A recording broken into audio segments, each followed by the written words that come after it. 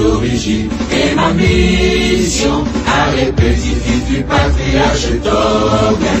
Je viens du cadeau, je suis le cadeau et je suis fier d'être Adja. Adja, oui je le suis. Mon sang, mes aïeux, les peuples du Nord de Guinée. L'histoire que vous vous apprêtez à suivre est l'une des plus importantes de la République du Bénin. Je suis le cadeau et je suis fier d'être Adja. Adja, oui je le suis. Mon sang, mes aïeux, les peuples du Nord de Guinée. Après sa mort, succession, fascisme global. La légende raconte qu'il y a de cela plusieurs siècles, des peuples égyptiens ont longé le fleuve Nil pour atteindre Oyo au Nigeria, puis ils ont immigré à Ketou, ont traversé le Dahomey, actuel Bénin, pour se retrouver dans le village de Azamé, encore connu sous l'appellation Tado au Togo. Et c'est le début de toute l'histoire. Enfant du feu, armez-vous de courage, persévérance, pour non seulement entretenir le feu, le protéger, le conserver, mais aussi la vivifier à grande échelle. Je connais bien mes origines et ma mission à répétitif du patriarche Togan. Je viens du cadeau, je suis le cadeau et je suis fier d'être Adja. Dada Glotion à Lodutom Ganlo est le 17e roi de Wegbo Agon dans la commune de Tofo après avoir succédé à Dada Sodiegbe qui a fait plus d'un demi-siècle au trône. Mais que s'est-il réellement passé à Tado? Le roi de Tado était malade et il fallait le soigner. Les étrangers arrivés ont dit qu'ils sont capables de soigner le roi, mais que s'il est guéri, on doit leur trouver une place dans le conseil royal. Ce qui a été fait. Il y a des familles appelées Tans- Tassino qui désignent le nouveau roi. Donc ils ont été désignés. Ils étaient là quand une fille, une princesse du roi de Tado et ses amis sont partis au marigot pour prendre de l'eau. Alors subitement, une panthère est sortie de la forêt. Et toutes les filles ont détalé, mais il y a une fille qu'on appelle Alibono qui a été arrêtée par la panthère. Après neuf mois, cette fille a donné naissance à un garçon très fort, courageux, que l'on appelle Agassou. Agassou est resté à Tado et il a eu beaucoup d'enfants et de descendants. À la mort d'un roi de Tado, il fallait choisir un roi. Et un descendant de Ali Bono et Agassou voulait devenir roi. Et on lui a dit non, qu'il est l'enfant d'une princesse, que c'est l'enfant d'un prince qui a droit au trône. Alors, le premier postulant était Adja. Donc, euh, l'enfant de Ali Bono qu'on appelle Landais a tué Adja, l'a décapité et boit de l'eau dans sa tête. Alors cela a irrité tout le monde et une bagarre s'est engagée. Lorsque il a coupé, il a découpé, dé- décapité, on a appelé cela Adjaka et Wadja, c'est à partir de ce moment que Tado est appelé Adja Tado.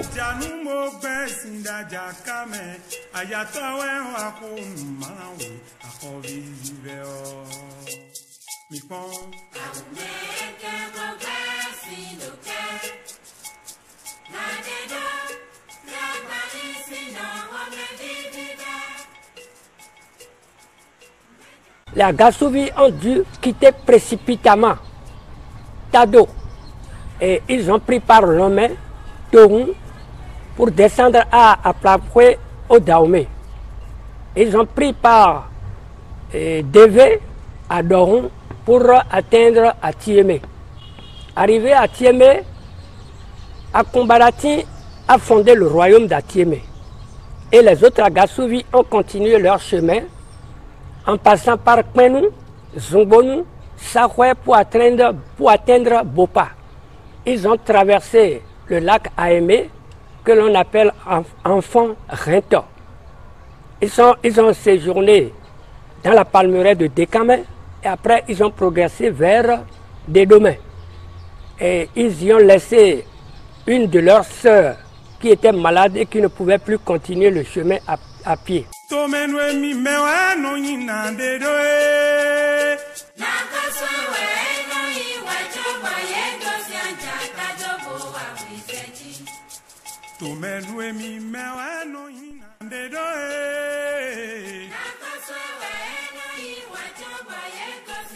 Selon la légende, c'est dans ce cours d'eau que Nadédoumé, qui entre-temps est atteinte de la maladie de la rougeole, a été guérie après un bain.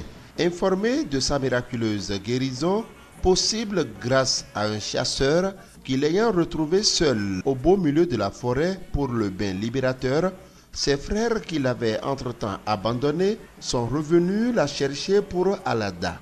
Nadédomé opposa un refus catégorique à la demande de ces derniers, puis fonda le royaume de Dédomé. Dada Nafodi Gansrego est l'actuel roi de la localité.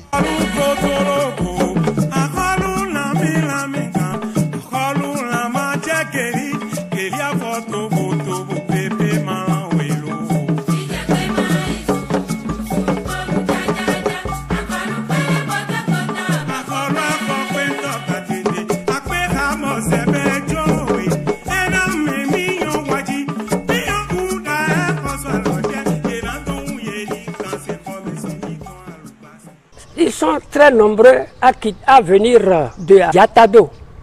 Donc, euh, ils avaient tous envie de devenir roi. Mais quand Kokmo a pris les perles royales pour devenir roi, les autres ont dit non, que cela ne lui appartient pas, que normalement c'est eux qui doivent être le roi. Donc, euh, il, il a pris la perle d'une autre personne. Et ils se sont fâchés. En quittant Tado, ils avaient apporté une cuvette qui contenait le crâne de Agassou, de Aligbono et d'un roi de Tado.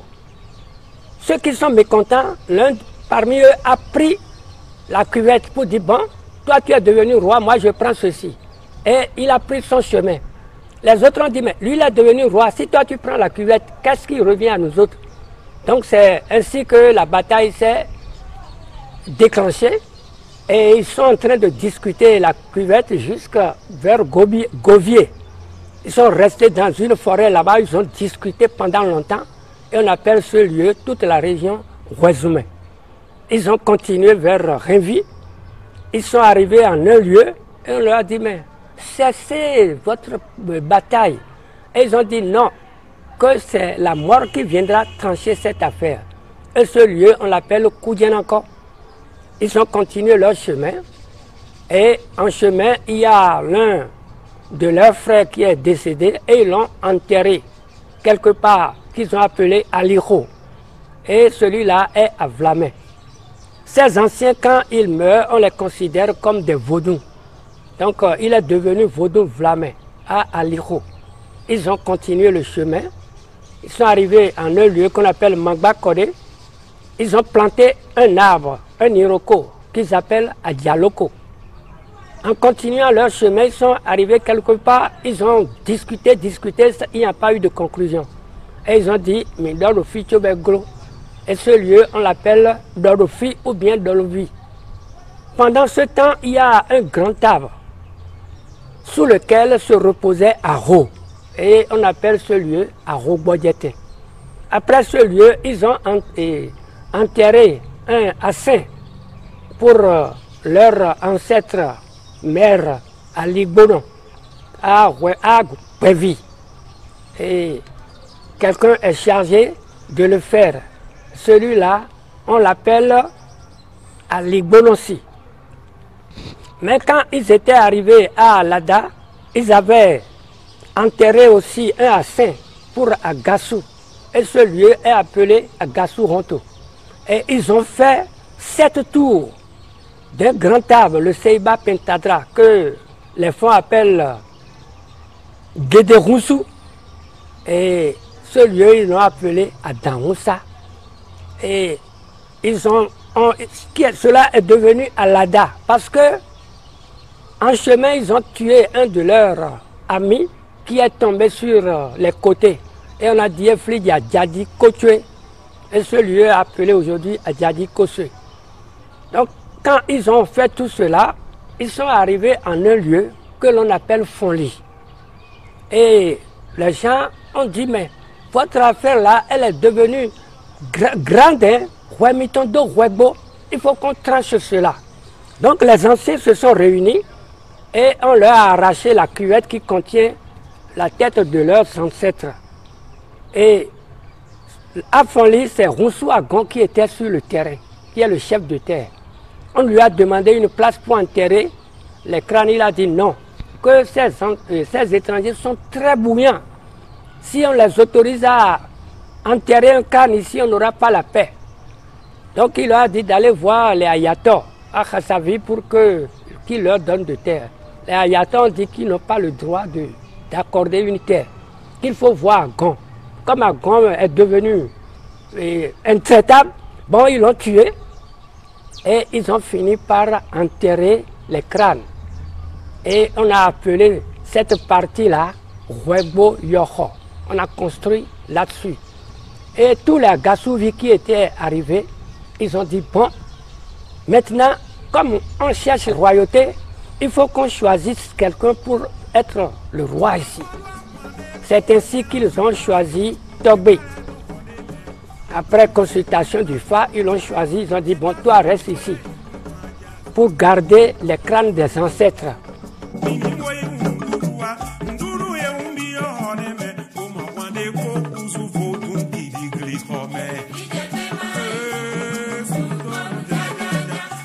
Quand lui il est devenu roi, il a rallié tous les Gassouvis qui étaient autour de lui. C'est ainsi qu'on a Webo Geme, Webo Dame, Webo Gbevi, Webo Dolvi, Webo Wassa, Webo Aliho et Webo Gar. Donc, euh, lui, il est devenu roi et les autres sont partis. Et on leur a demandé si quelqu'un devient roi, qu'il ne vienne jamais près du mausolée qu'on appelle Webo Yoho.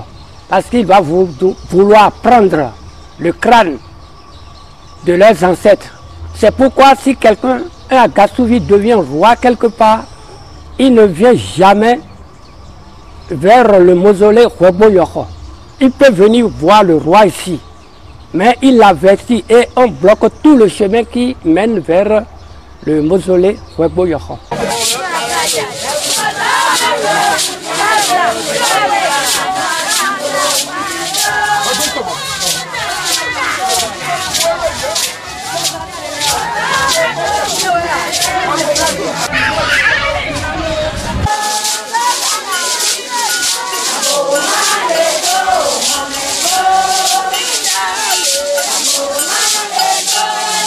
Depuis le décès de Togbe, premier roi à qui les frères ont confié la garde du mausolée, Wegbokosu Glotion Ganlo est le 17e roi à siéger sur le trône de ce royaume qui détient tous les secrets et d'importants reliques du royaume de Tado.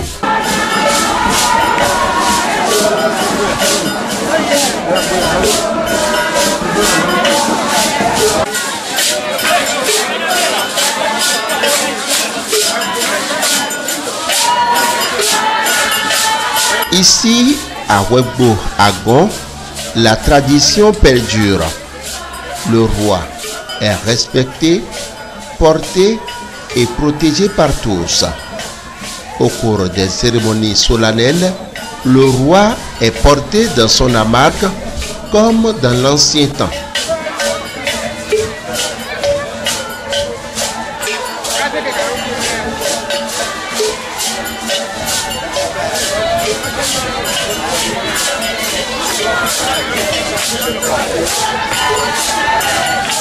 Comme il est de coutume depuis les temps anciens dans le royaume de Weboagon, Sa Majesté Dada Glotion Gallo est soumis à d'importants totems et interdictions. Si quelqu'un meurt, le roi reste dans son couvent et euh, le roi reste dans son couvent. Et un homme, on l'appelle, euh, qui s'occupe de l'interdiction, qu'on appelle le Saranon. Le Saranon dit au roi que euh, un homme s'est décédé. s'est décédé. Maintenant, on lui dit que à ti fin là, on ne peut pas dire qu'on est décédé. À ti fin là, à ti fin là, fite la fin là, car il lit, ouais. À ti fin là. Donc, à ti fin là, on est fou de édiateur, on est ouais. S'il y a cinq jours, si la cérémonie voudrait faire cinq jours, et on dit au roi qu'il va faire cinq jours là. Même trois mois, il reste là dans le couvent, il fait les trois mois.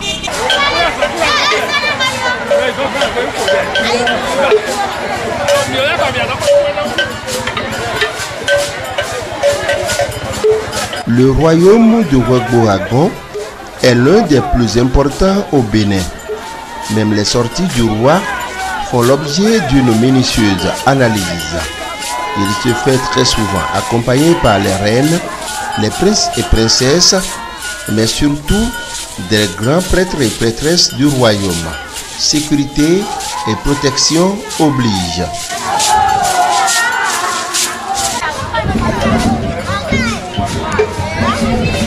Au-delà de la place de choix qu'il occupe dans la royauté au Bénin, le royaume de Wegbo Agon regorge d'importantes places sacrées. Nous avons Gafan, nous avons Atab, nous avons Yorosado, nous avons Honto, nous avons Dan Honto et Akaso Honto.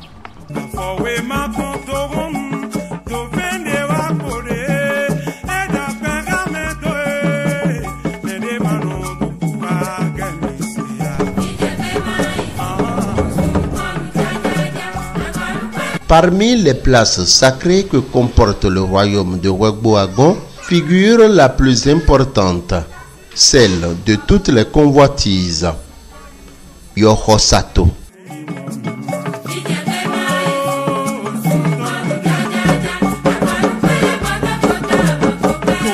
Derrière cette porte reposent les ancêtres venus d'Adjatado. Son ouverture est conditionnée et bien réglementée avec la surveillance particulière du roi.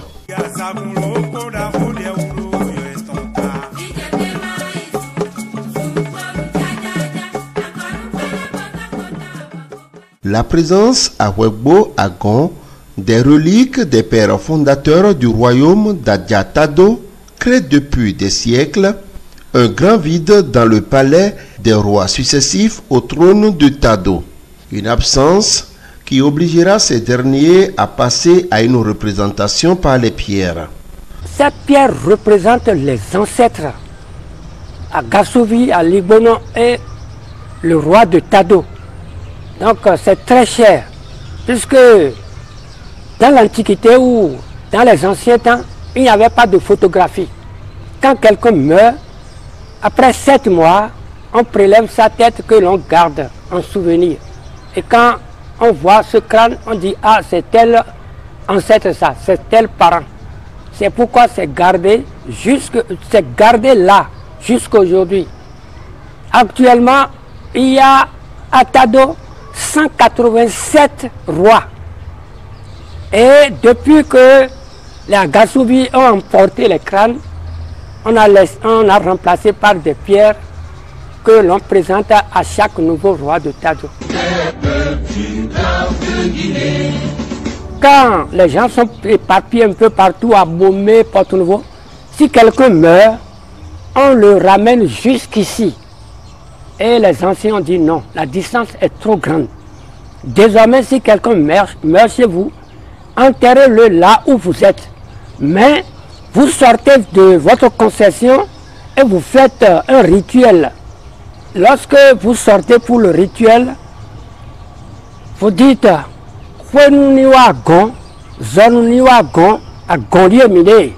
Quand vous dites ça, eh bien, l'esprit du défunt vient directement à Agon.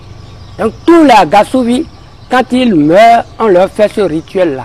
Très proche de ces sujets, le nouveau roi de Wegbo, Agon, ne manque jamais l'occasion de mettre la joie au cœur à ces derniers.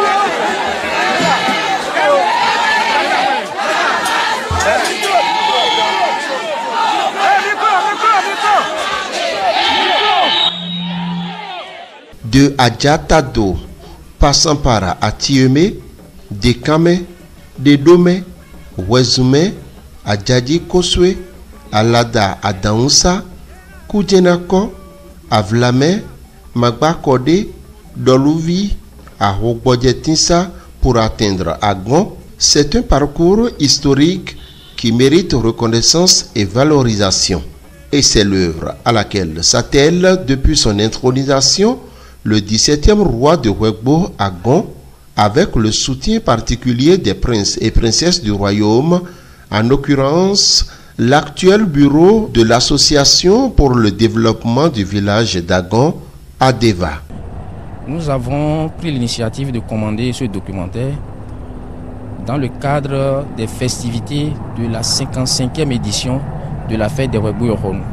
Une fête que nous avons commencé par célébrer depuis 1967.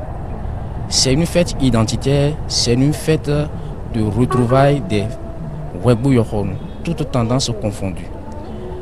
Bon, quand on dit Wegbo, c'est un peu penser que euh, a rendu justice. Non, ils se sont réconciliés. Donc ce qui est positif et que nous saisissons dans, dans, cette œuvre, dans, dans, dans ce mouvement de Agasouvi, c'est la réconciliation. Donc nous voulons que cette réconciliation soit vécue quotidiennement dans les communautés des Wegbonou, des Wegbo pourquoi pas dans toutes les familles du Bénin et du monde entier. Dans leur marche vers le bonheur, la paix et le bien-être, les Agasouvis se sont répandus dans plusieurs autres villes du Bénin et même au-delà de ses frontières. Venus d'Égypte, berceau de l'humanité, passant par le Nigeria et le Togo, la plupart de ses ancêtres se reposent depuis des siècles à Agon, sous la garde des Wegbu Yohono. Je suis fier d'être oui je le suis. Nous sommes aïeux peuples du Nord de Guinée.